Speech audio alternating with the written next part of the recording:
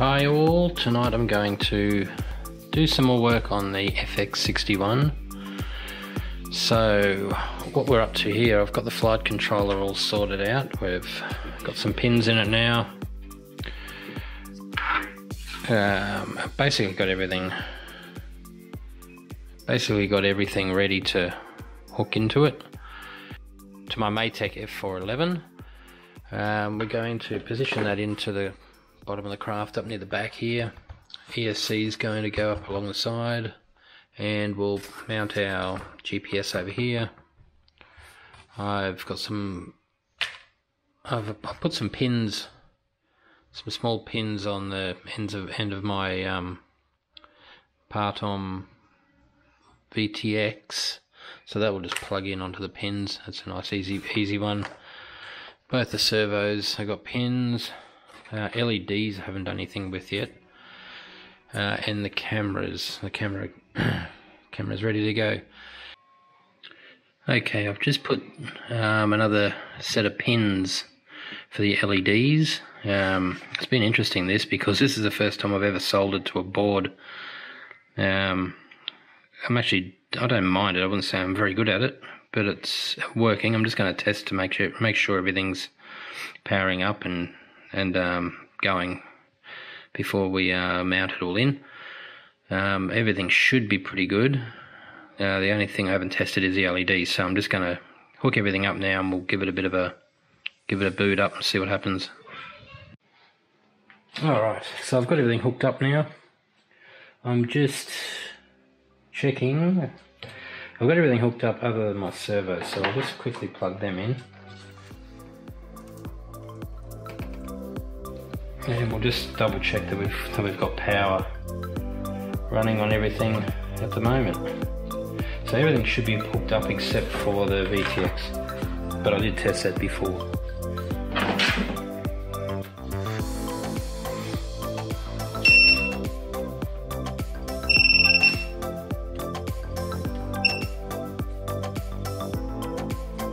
Everything seems good. We've got the buzzer buzzing away there. GPS is flashing, so that's a good sign.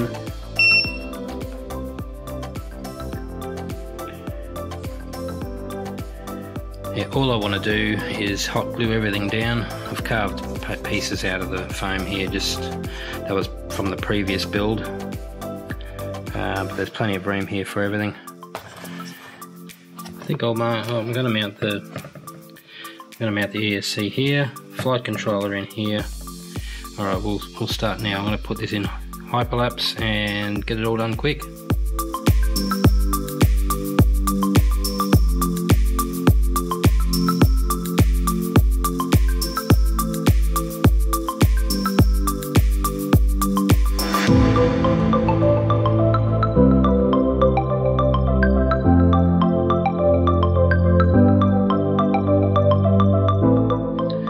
so I've just hot glued in those. That's all done now. The flight controller's pretty solid, and I have no. I do know that I've got this around the wrong way. It's all set up to be put around 180 degrees yaw, so that's all good.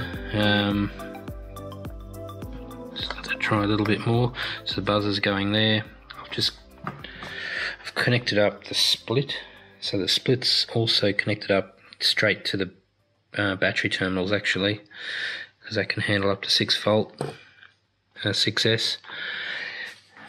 And I'm only going to be running 4S in this plane anyway, so that's fine. And that's set up as soon as I plug the battery in, it'll start recording. The only disadvantage is it's going to be mounted up in the canopy. So there, that's I've made the cables long enough so they're not going to be stretched and it shouldn't be a too much of a problem. Okay, so the GPS is mounted here. There's no compass on that, so I haven't worried about which way I've sort of positioned that. So next to do, I believe we might plug everything in and just see what powers up. The RunCam can be powered straight up, so that should be all good to go too. We might just give everything a big test and then put it back on iNav again for a bit more of a setup. Okay, so I'm just going to, I've still got to connect up the servos. So I'm going to put the servos plugged in. I just wasn't sure which is which. It's showing here S3 and S4 here, the two I've mounted in with the pins. So S3, I believe, is the right wing. S4 is the left wing.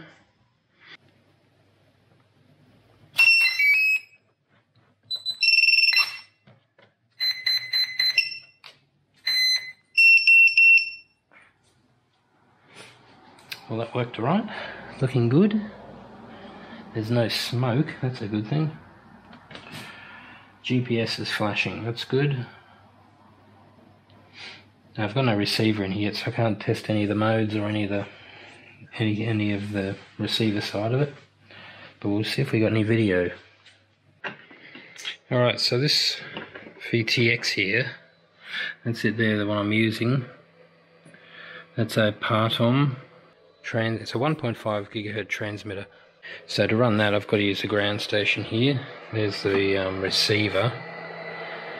And I've mounted a 5.8 uh, video transmitter here next to it.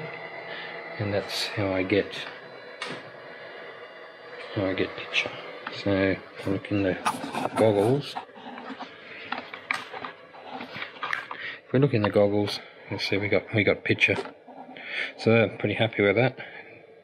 OSD's not quite set up how I want it, but it's pretty good. So there we go, mission accomplished. So far so good.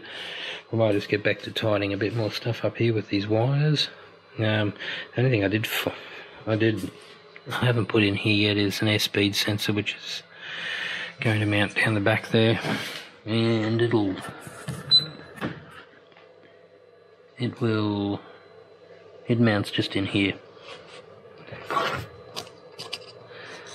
So that's still coming in the mail. Once I get that, it's pretty much finished. Alright, so I just thought I'd tidy up a few wires here first before I go any further here. I'm um, just putting a bit of hot glue down. This is my LED wire running up through here to the front LED and I've got two ones, two running off left and right. So I'm just hot gluing some of this down just to just to um, tidy it all up. The battery's going to just sit in front of it there, so I don't want it interfering. Alright, so I've got my airspeed sensor for the Phantom FX61. It's a, um, it's a Matek analog speed sensor to go with the uh, Matek F411 flight controller that's in it. So this is what we're up to now. Once this is done, this is ready for its made and it's all complete. We're going to fit this up now and um, yes, I'll show you the steps and how I plan to fit this up as we go along. Alright, my next step involves the uh, speed sensor. Now I've put the I've cut the tube and uh, put one on each end. I've just got to work out exactly which goes to where on the sensor itself. I've wired up the four wires it's got on the back here uh, we've got a ground of 5 volts, uh, says the yellow is a signal, and then I've got a half. So it's got me a bit sort of confused about what half means. It's showing on the F11 board, F411 board, um, uh, SDA and SDC, uh, which is an in out.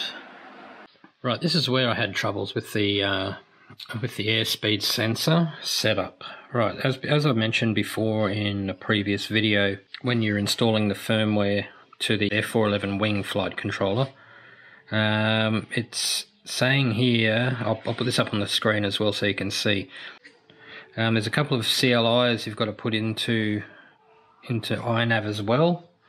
You set those three up here, so your airspeed sensor is going to be running off an RSSI channel, ADC channel.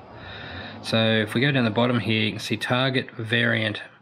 This is the uh, the the firmware you need to install to get this airspeed sensor working. You need to install the Matek F411 RSSI for F411 wing.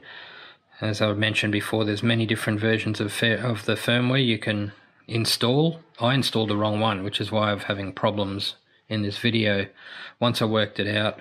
Um, you need the RSSI version of the firmware to get the Matek, to get the airspeed sensor working correctly.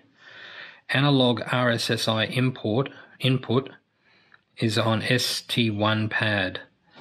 Uh, soft serial TX1 will be available on the LED pad.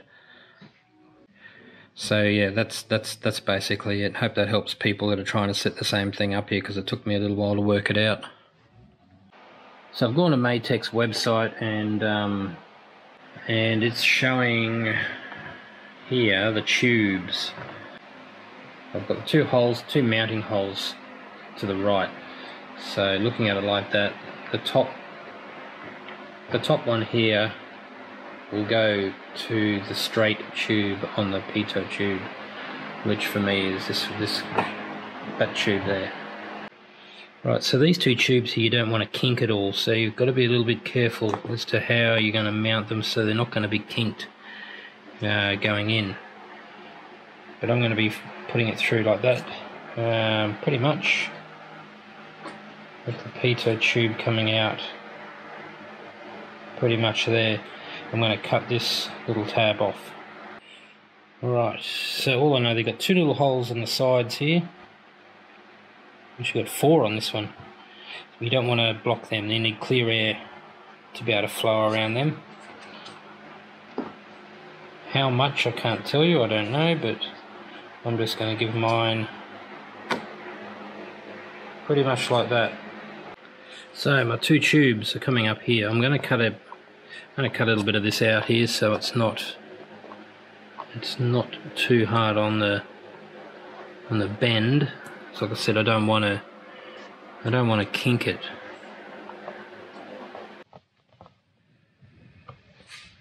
So I just hot glued the airspeed module.